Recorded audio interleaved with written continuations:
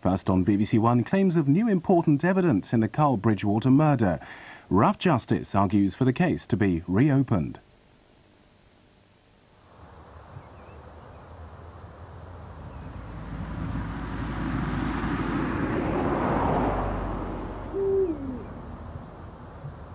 Seventeen years ago, these men were jailed for a murder that horrified the nation completely uh, savage, cold-blooded, ruthless, uh, to shoot. Lawyers say their conviction for the killing of 13-year-old Carl Bridgewater will one day stand alongside miscarriages like Birmingham and Guildford. The Home Secretary, Michael Howard, says he is disinclined to refer the case back to the Court of Appeal. But tonight, Rough Justice discloses new evidence, which we believe should cause him to reconsider.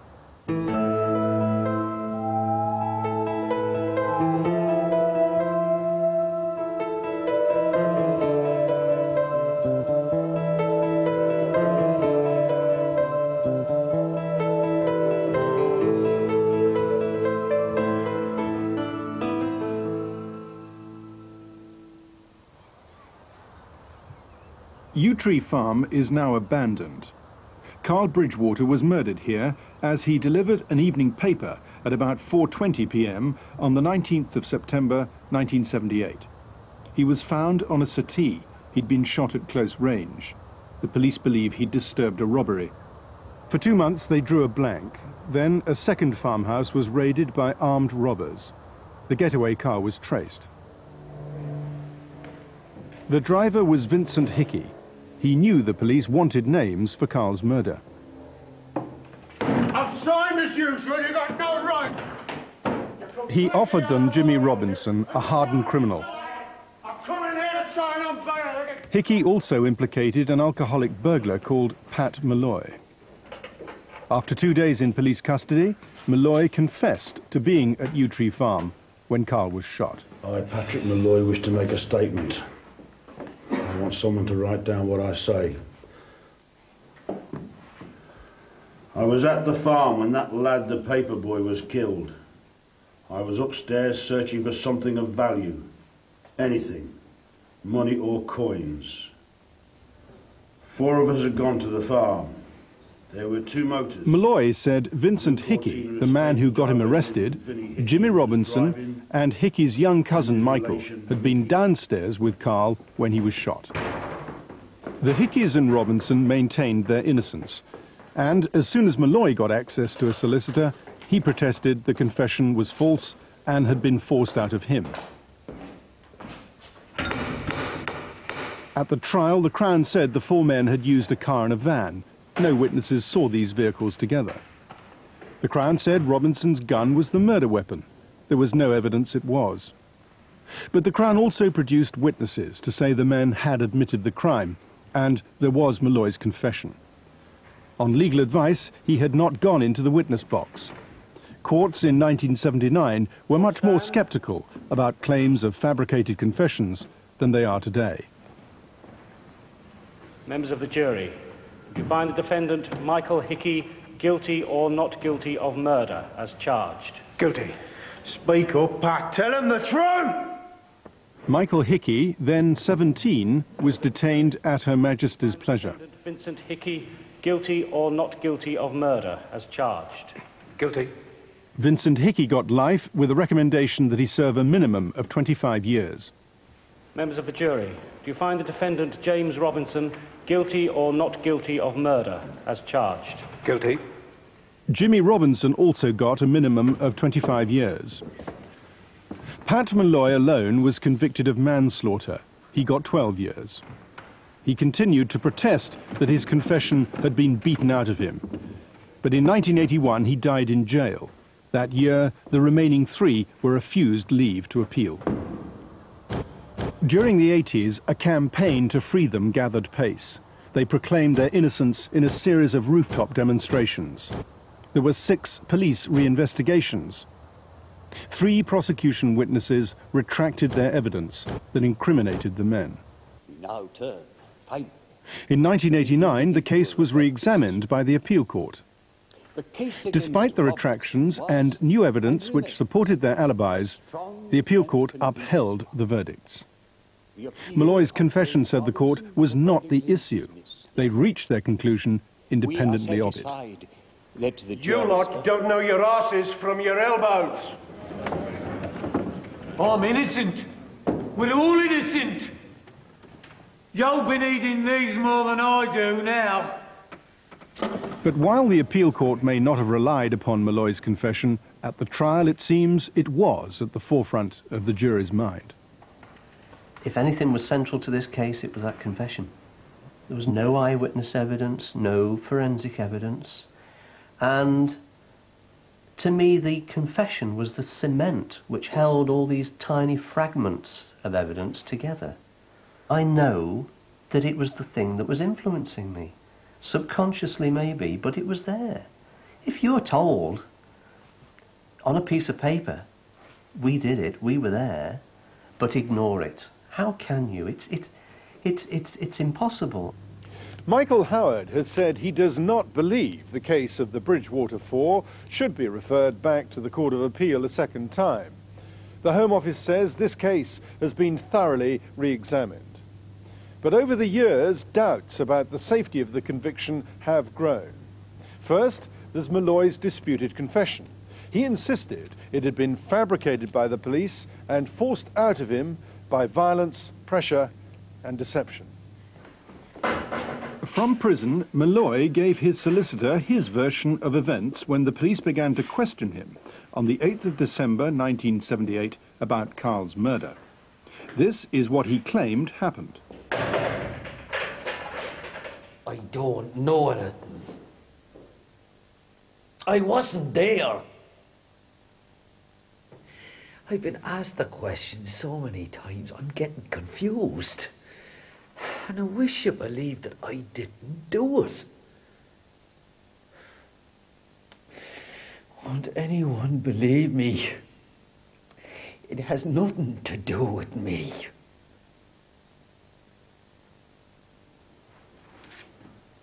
Molloy then claims he was shown a statement which the police said was signed by Vincent Hickey and which said that Molloy was at the farm. Hickey never did sign such a statement. You thick Irish Mick.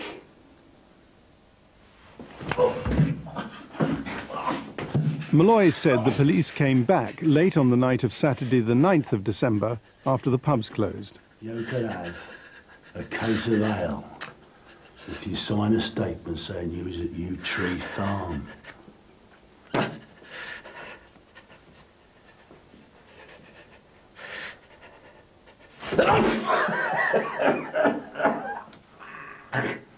you was upstairs robbing the farm.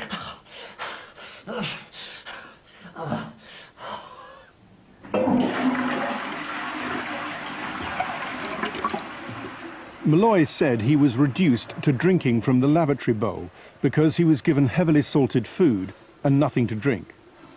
He said he was woken half hourly through the night. According to a former West Midlands detective, in his experience, such coercion was not unusual.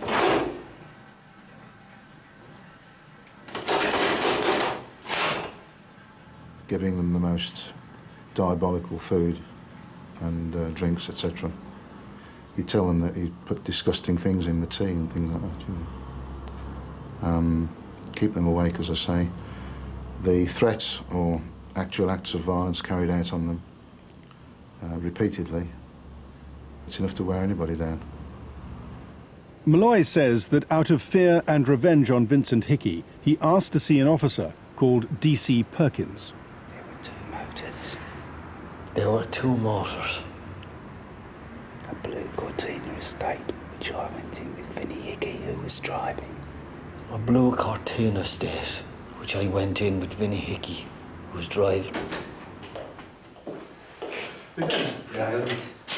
D.C. Perkins, who took the confession, had a history of violence and falsifying evidence. At the time of the Bridgewater inquiry, Molloy does not appear to have been his only victim. He was just animal. He liked to inflict pain, I think. He'd come in, he'd say, come on, admit to it, we know you've done it. And he'd start getting aggressive, pushing, punching, catching between the legs, I told you, testicles twisting them, kicking you in the back of the legs, slapping you on the face. And a lot of things to us. Molloy said he was hit so hard the police broke his false teeth. The Home Office dispute that. They say a mugshot of Molloy taken 10 days later doesn't show any sign of injury. No, they never left marks. That's one thing I'll say about the police. They did you and hurt you, but they'd never leave a mark. Perkins later joined the West Midlands Serious Crime Squad, disbanded in 1989 because of malpractice. He was disciplined twice for falsifying evidence. A Home Office document says this is only the tip of a somewhat polluted iceberg. But officially the Home Office says Perkins' offences are not relevant because they occurred seven years after Bridgewater. His colleagues say otherwise. John Perkins and a reputation for being violent as a boy, as a youth in the police cadets, as a uniformed police constable on the beat, as a detective constable on the local CID, with the regional crime squad and with the serious crime squad. He had this reputation of violence and falsifying evidence. It's quite clear then that Molloy's allegation that Perkins forced a false confession out of him is consistent with the officer's proven record. There's also one other powerful piece of corroboration for Molloy's claim. Quite simply, the disputed confession could not have been taken from Molloy in the way that the police said it was. He specifically wanted to speak to you. Are you sure? Yes. The police version of Molloy's confession goes like this.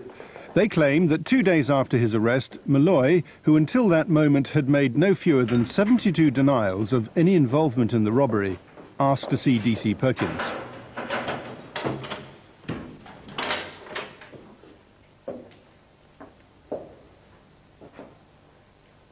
I understand you want to see me, Pat. I must remind you, though, you're not obliged to say anything. Yes, sir. I know. I need some advice. I need help. I'm in a terrible mess. I was at the farm when the lad got shot. But I didn't know about the gun till after. I was told Jimmy did it, but it was an accident. Are you saying you were involved in the robbery but took no part in the murder? Yes, sir. That's right. I went upstairs searching for something of value. Don't worry. I am worried. I'm terrified of the others. They threatened me with personal injury. Well, uh, I had been drinking and I cannot remember the, the exact time I was there, but whilst I was upstairs, uh, I heard someone downstairs say, Be careful, someone's coming. Did you hide? Yes, sir. I, I hid for a while and then I heard a bang. I ran out. And what were the others doing? Well, they were all shocked and were shouting at each other.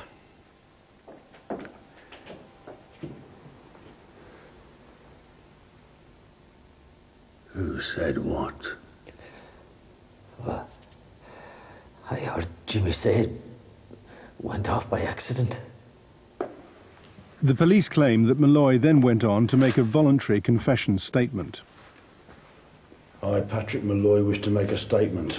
I want someone to write down what I say. At the trial, DC Perkins said on oath that he wrote down the confession at Molloy's dictation. I need to tell you the truth. You wouldn't understand the pressure that I've been under. But in 1991, the defence got three experts to examine the confession. By comparing it with Molloy's letters, they concluded it was not in his own language. He'd been shot in the head. I was appalled and felt sick. The Home Office set up yet another inquiry. Merseyside Constabulary was asked to investigate whether Molloy's confession was genuine. It became clear the process leading up to it was seriously flawed. Yet the Home Office persists in finding nothing sinister in any of the police's conduct. The confession was made in a police cell at Wombourne Station. But the records of what happened to Molloy there are woefully incomplete. The police failed to record what went on in no fewer than 14 visits. The Home Office say they were probably welfare visits. This former officer says that's unlikely. They're more likely to go and abuse the prisoners or keep them awake. Put some other pressure on him to say uh, the other boys have coughed it. They've admitted it and they said it's all down to you, son. Uh, I don't accept welfare visits at all. No. Not by CID officers. Afraid not. Of the few interviews that were noted, no end times were recorded. But the Home Office put that down to the recording rules not being as strict as they are today. The expert brought in by Merseyside to examine the interview procedures doesn't accept that explanation. He's a forensic psychologist and teaches the police interview techniques. There is a sinister explanation why there are no end times. Which is? That Molloy was virtually continuously interviewed from the time he left the interview room and was placed in his cell. Why there are no end times is because it allows you license to fudge when one interview creamed into another. If there's a question mark over the police records, what about the confession itself? The police say Perkins went into the cell at 3.40 in the afternoon. Forty minutes later, he came out with a signed, written-out confession statement. The police account is that there was an interview until four o'clock in which Molloy confessed. Then Molloy dictated a voluntary confession over the remaining 20 minutes. But we don't believe this can possibly have been accomplished within that time. Some questions. There is only one officer who took the confession who is still alive today. In 1992, he was questioned by the Merseyside inquiry. Can you tell me how that statement was obtained? It was quite a verbatim statement. He was obviously distressed, and John Perkins obviously wrote out a caution. It was read over to Molloy, and he was invited to sign it that he understood what he was going to make. The statement was taken at Molloy's dictation inasmuch that he was very quiet, and he sat quite often with his head in his hands. And at the end of the statement, the statement was read over by Perkins to Molloy, and in fact, if I remember rightly, Molloy looked at the statement, and he looked at it for a considerable time. This evidence makes the police claim that Molloy delivered his confession in 20 minutes even more incredible. The statement is 670 words long. Molloy would have to have reeled it off fluently at the rate of 33 words per minute. That's three times faster than Molloy's rate of delivery in a previous statement which he does not contest. And this does not even allow for the extra time that would have been required for Molloy to sign the confession statement eight times, make two corrections, and to add a caption in his own hand. I have been told that I can correct. To test how long the confession statement is likely to have actually taken, Dr. Shepherd had it repeated in an experiment in which the extra time-consuming procedures were also simulated. This statement is true. I made it of my own free will. When you take into account how it must have been elicited, cautioning the questions that they now admit they were asked in order to make it coherent and to make it flow, the fact that Molloy was distressed, they acknowledge he was distraught, that he took a long time, his head was in his hands, and he took a long time, a considerable time is the word used, to read the statement when it was given to him after it had been read to him. It couldn't possibly have been done in less than 39 minutes. I swear by Almighty God that the evidence I shall give... If the confession took up nearly 40 minutes, there can't possibly have been time for an interview. On Sunday, 10th December, did you go on your own to the police station cell at Wombourne Police Station? Yes. But at the trial, DC Perkins had given a very detailed account of the interview, which he said preceded Molloy's confession. to say anything. I said, Are you saying that you're involved in the burglary but took no part in the murder? Molloy said, Yes, sir, that's right. I was upstairs searching for something of value. I said, Carry on, Pat. Whilst I was upstairs, DC Perkins told the court this account of the interview was based on the notes of Detective Sergeant Robbins. Robbins was listening outside the cell. In 1992, Robbins was questioned about this by the Merseyside Inquiry. I understand that in most of the interviews you actually took the notes. I did, yes. Were they contemporaneous notes? As best as I possibly could, yes, sir. Okay. As close to the contemporaneous as, as ever I could. And I thought it was quite a good idea to take notes at the time, to try and be as fair as we could to, uh, to Patrick Molloy. Okay. Robbins said that his notes, and his notes alone, had been the sole source of the officers' statements in court of their interview with Molloy. The notes had been handed to a typist. It was decided that she would type our statements from the contemporaneous notes to make sure it was definitely what Molloy had said. Robbins insisted to Merseyside that when he made his notes, he had not seen Molloy's voluntary confession statement. Did you make your contemporaneous notes after reading the voluntary statement made by Molloy to ex-DC Perkins? No, sir. The contemporaneous notes are contemporaneous notes. I did them there and then, and certainly not afterwards. I know they're my notes. I did it. Yet Robbins's statement of the interview that he said was based on his notes contained many of the same phrases in the same order as appear in the confession statement. Merseyside's own expert said it would not have been possible for Molloy to remember precisely the same words in the same order in two separate conversations. Robbins was called back for interview by Merseyside, and he began to shift his ground. I want to know what you understand as contemporaneous notes. Well, these notes, I've never called them contemporaneous. To all intents and purposes, I believe they are contemporaneous because I'm writing as he's speaking. I'm doing them at the time. But they're not verbatim notes. In my heart of hearts, I'd say they were only about 70% of the actual. Can I say 70% of word perfect? And uh, did I say, did you hide? Yes. Did he? Yes. Robbins also changed the source of his account of the interview.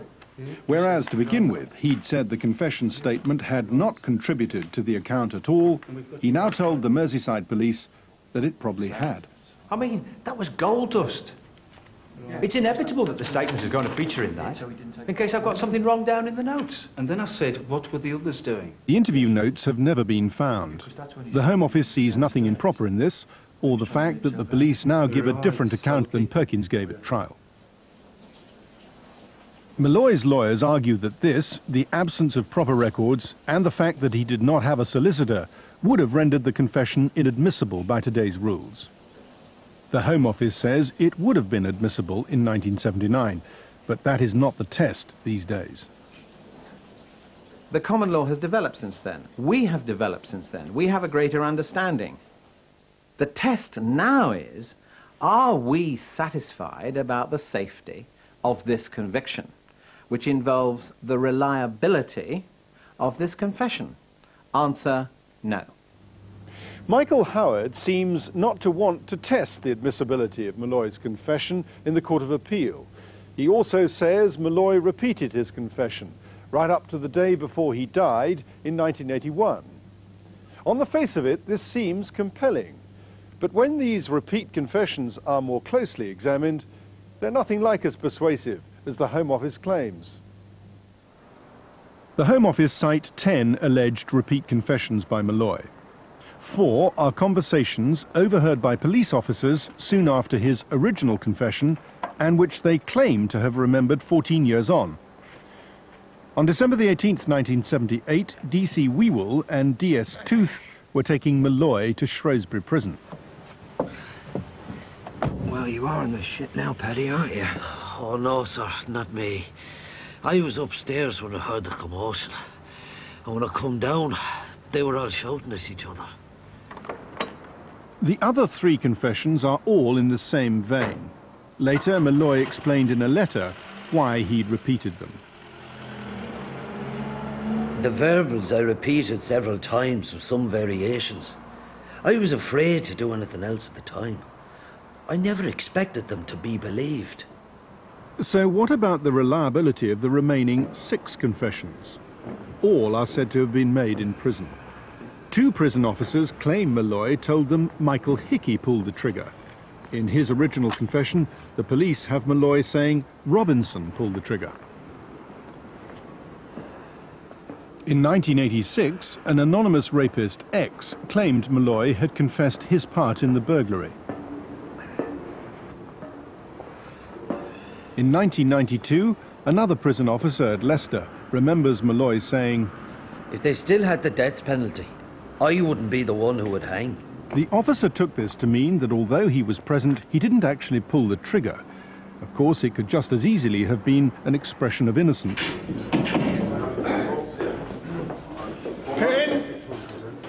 The fifth witness was a prison officer, Kenneth Mann. He says Molloy and his co-accused had all been remanded to Winson Green in Birmingham. In his police statement, Mann claims he personally knew Molloy from the 70s, always in and out of jail. Mann said he was shocked when he saw what Molloy was in for this time. How the hell did you get involved in this? I don't know. You prat. You're well out of your depth. It's that prat. He shot him. We didn't even know he had a gun. Yet again, Molloy is referring to Michael Hickey as the gunman. But there's another problem with Mann's evidence. Official records say Molloy was never admitted to Winson Green after the murder. He was at Shrewsbury and then Leicester.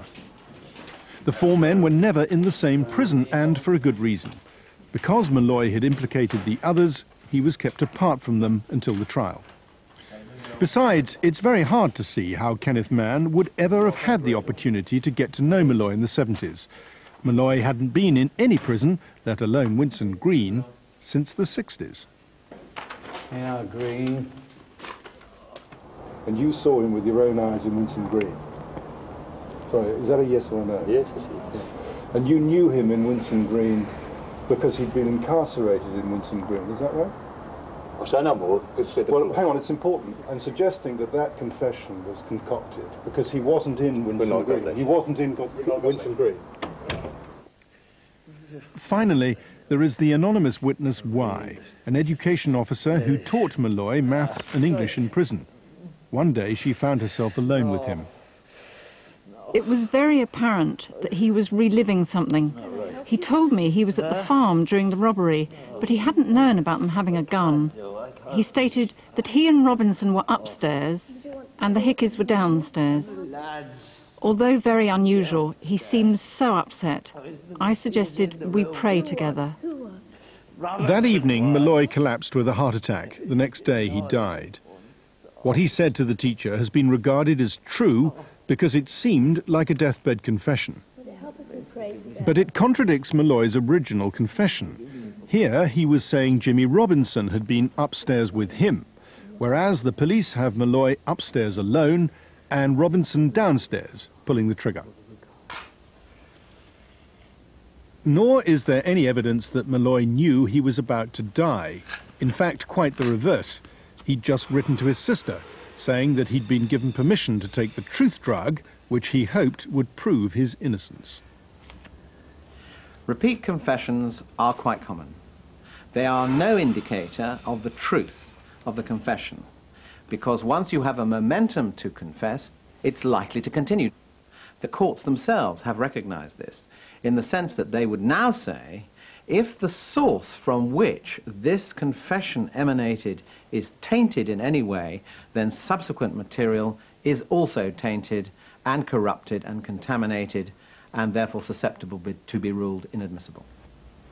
The fact is that over the years, the evidence that Molloy's original confession was a fabrication extracted under duress has grown stronger.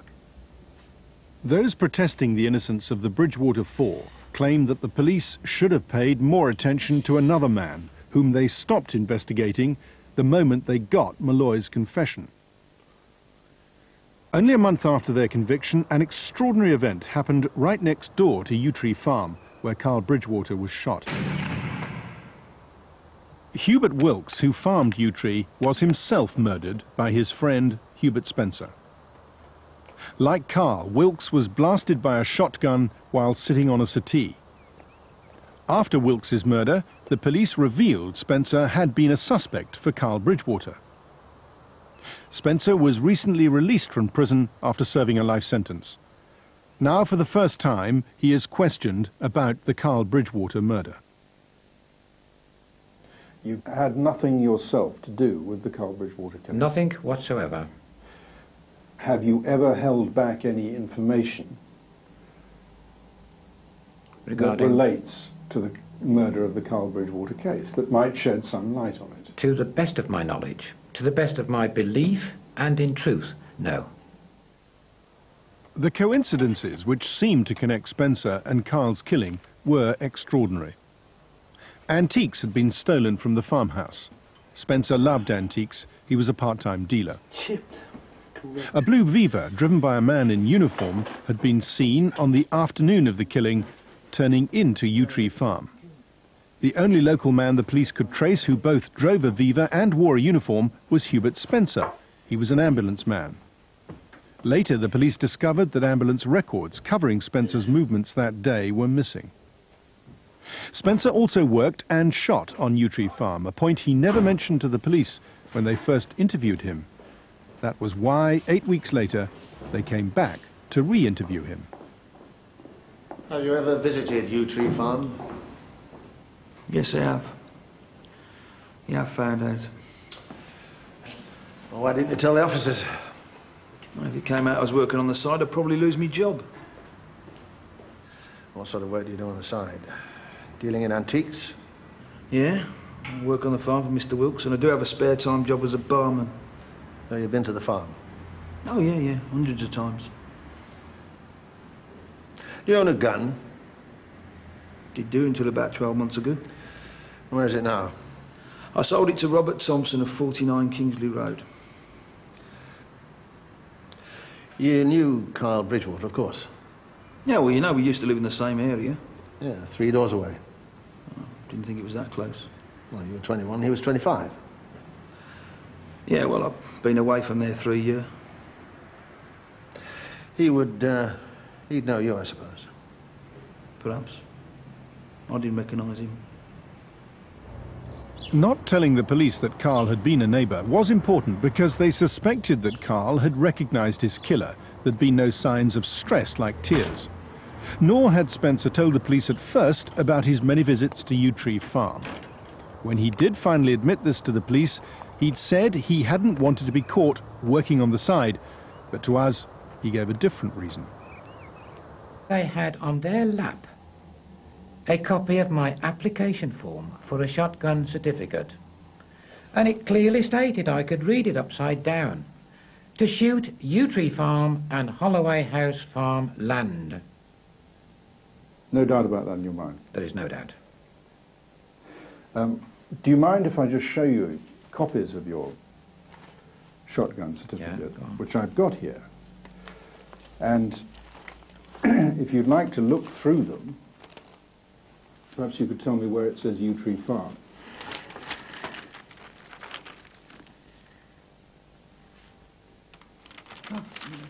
Hmm?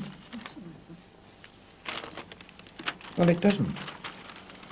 It doesn't. It doesn't, does it? No, it doesn't. Whereas Spencer had told the police he'd only one gun, to us he admitted there'd been more. But he saw no reason to tell the police this to help them eliminate him from their inquiries. Police officers and CID officers used to come in my shop and see that I was handling one or two guns a year. But we've What's already, the point of on, telling them what they knew? But we've already agreed that your shop wasn't in existence in 1978, so you say. Right, whenever it was in existence, police officers came in and saw guns on sale. What's the point of ringing the police and saying, I sell guns? Why should you have assumed that these officers knew your pattern of dealing with guns? I also dealt with copper kettles and brass ashtrays. They didn't know about that. Mm-hmm. Why tell them? 107 or 108. One of the most extraordinary coincidences was Spencer's claim to have stumbled upon a piece of evidence directing suspicion away from him. Spencer says he uh. just happened to be out walking when a card was spotted on the ground. It pointed suspicion towards another man. Spencer denies he wrote it. Handwriting experts are divided. But it was one bit of information that this time Spencer did volunteer to the police. I suppose the chances of you stumbling on a piece of paper that was written by someone else 15 miles from your home must have been, what, one in several million? Yes. But it happened. It happened. Just totting up the coincidences. There's the piece of paper found 15 miles away, Yes. taking the heat off you. There's the fact that a Vauxhall, blue Vauxhall Viva car was seen around Yew Tree Farm on the afternoon of the killing. Yes. There's the fact that a witness saw the driver of a blue car in a uniform, and you Yes. wear a uniform. Fascinating, isn't it? There's the fact that the lad was killed with a shotgun, sitting on a settee. There's the coincidence that the man you shot was killed pretty much the same Yes. way. There There's are the coincidence that uh, this lad was killed on land that you and Wilkes worked on and shot on. Yes. So what? Quite a number of coincidences, isn't it? So what? There are more that you don't know about. Tell me. No. On the most important coincidence of all, the murder of Farmer Wilkes, Spencer has stayed silent. For nearly 17 years, he's never publicly explained why he shot the man he called his best friend. His silence has only fueled suspicion that Farmer Wilkes's death is somehow connected to the murder of Carl Bridgewater. About an hour before the shooting, Ian Jones had driven a tractor past Yew Tree Farm and had seen a Land Rover there. He thought it was just like Hubert Wilkes's Land Rover. Thirty minutes earlier, the blue Viva, driven by a man in uniform, had been seen turning into Yew Tree Farm. Did Wilkes perhaps spot Spencer at the farm that afternoon? No, says Spencer, he categorically denies killing Wilkes because he knew something. He killed him, he now explains, because the 70-year-old farmer had designs on his wife. In his wild, senile mind, he claimed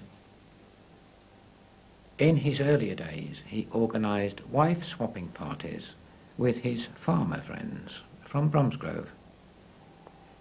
He told me precisely how he did it. At the culmination of an evening's drinking, he would make what he called special cocktails. He claimed it was always foolproof.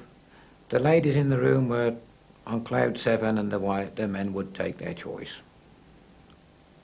He then said loud and clear to my ex-wife in particular, I have made you a special cocktail.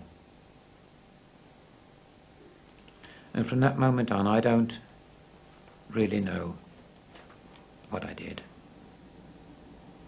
I call it provocation. I did go over the top if it were provocation. I make no excuses. I haven't made any excuses for what I did. But why didn't you explain? It's a perfectly workable legal defense. Why did you not say to your lawyers, this is how this man wound me up? They must have asked you, why did you do what you did? Why didn't you tell them? They did. Why didn't you tell them? I believed, as I still believe, one of the people who were there at that night, who would have been accused by the media of wife swapping, was suicidal then. So you are saying that you risked a life sentence because you wanted to protect other people, when in fact, had you told the truth, as your lawyers asked you to, you could have got a lesser sentence. It would have been possible. That's a pretty noble thing to do. So what?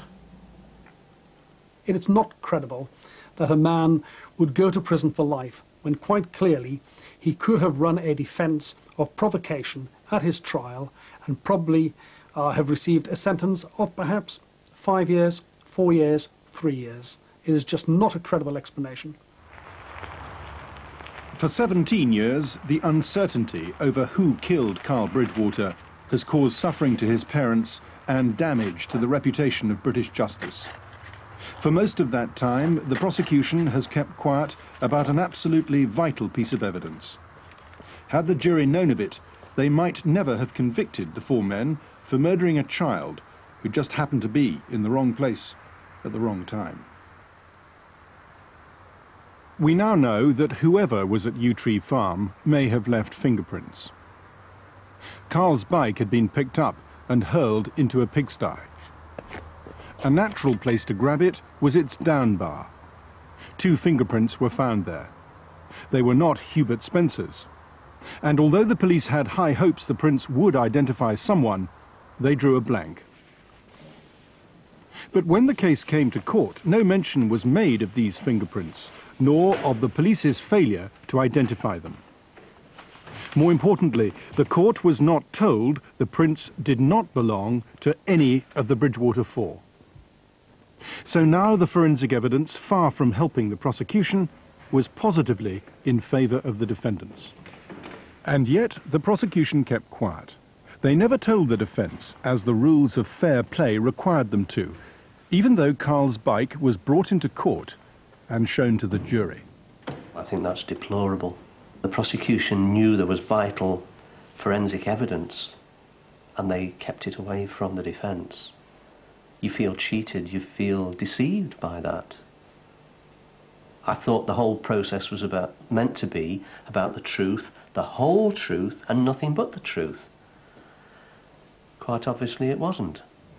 The Crown also didn't own up to the unidentified prints on the bike before the 1981 and 1989 appeals.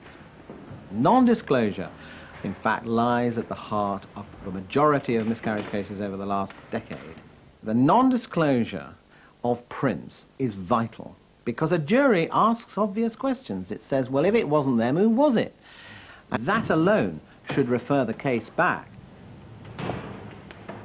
we have learned that since December, there has been an exchange of letters about this non-disclosure between the Home Secretary and Michael Chance, the official who handled the prosecution for the then Director of Public Prosecutions.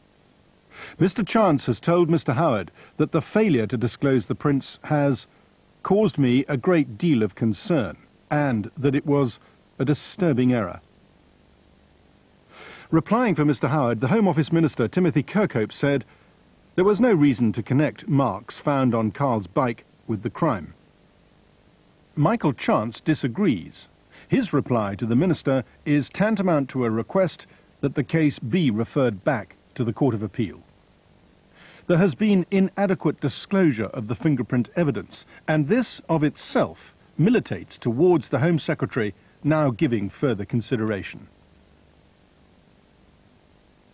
I think it is unprecedented, unprecedented, that a senior prosecutor, this is not just some lowly official, has made a comment that he is so concerned that these fingerprints were not disclosed that he believes that the case ought to go back to the Court of Appeal. Nevertheless, the Home Office has rejected Mr Chance's request. Instead, the Minister, Timothy Kirkhope, has claimed there's been nothing untoward about the non-disclosure because the defence was told before the last appeal that unidentified prints existed somewhere at the scene of the crime. Madam Speaker, the defendant's solicitors knew of unidentified fingerprints three weeks before the referred case in 1989. Well, he's being a bit economical with the truth. Of course, someone like myself would normally expect in a farm like that, where there are workers around, that there'd be all sorts of fingerprints. What Kirkhope did not disclose to me was that there were two fingerprints on the bicycle at the place in which a bicycle might expect to be handled and thrown, and that really is the important bit of information. In the two decades since this awful murder, Pat Molloy's confession has been discredited, the foreman of the jury believes the very men whom he helped convict are innocent, And now even the prosecutor believes the case should be re-examined by the Court of Appeal. There seems to be only one obstacle to it getting there, the Home Secretary himself. Well, I find the Home Office's response totally unacceptable. They are usurping the function of the Court of Appeal. This is effectively Michael Howard stepping into the shoes of the Lord Chief Justice, and it's quite wrong. There is one footnote to this case which ought to weigh heavily with the Home Secretary. For over 17 years, three men have never ceased to protest their innocence.